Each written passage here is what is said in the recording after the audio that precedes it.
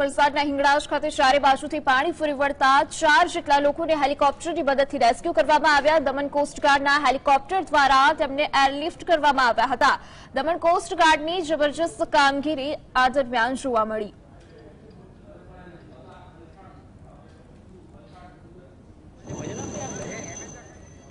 વલસાડમાં ભારે વરસાદ અને ઉપરવાસમાં પડેલા વરસાદથી ઔરંગા નદીમાં ઘોડાપૂરની સ્થિતિ સર્જાઈ છે ત્યારે પૂરમાં ફસાયેલા લોકોને સુરક્ષિત સ્થળે ખસેડવા દમણ કોસ્ટગાર્ડ દ્વારા રેસ્ક્યુ ઓપરેશન હાથ ધરાયું. વલસાડની ભડેલી વિસ્તારમાં પૂરમાં ફસાયેલા લોકોને સ્થાનિક પોલીસે સુરક્ષિત સ્થળે ખસેડવામાં આવ્યા.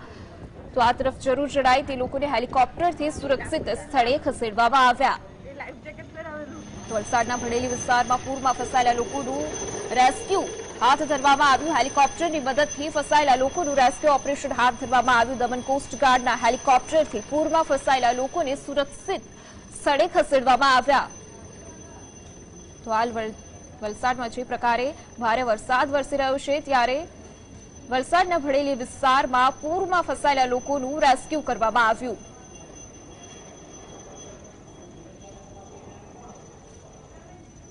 વલસાડના ભળેલી વિસ્તારમાં પૂરમાં ફસાયેલા લોકોને સ્થાનિક પોલીસ દ્વારા સુરક્ષિત સ્થળે ખસેડવામાં આવ્યા અને જરૂર જણાય તેમનું હેલિકોપ્ટર દ્વારા રેસ્ક્યુ ઓપરેશન હાથ ધરવામાં આવ્યું.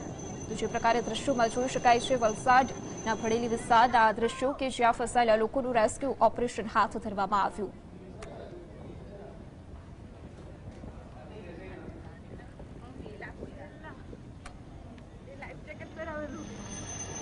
આ વધુ જાણકારી સાથે સંવાદદાતા પ્રિયાંક આપણી સાથે જોડાયા છે. પ્રિયાંક, શું જાણકારી મળી રહી છે? ભળેલી વિસ્તારમાં જે પ્રકારે પૂરના પાણીમાં જે લોકો ફસાયા છે, તેમનું રેસ્ક્યુ ઓપરેશન હાથ ધરવામાં આવ્યું છે. શું અપડેટ મળી રહી છે?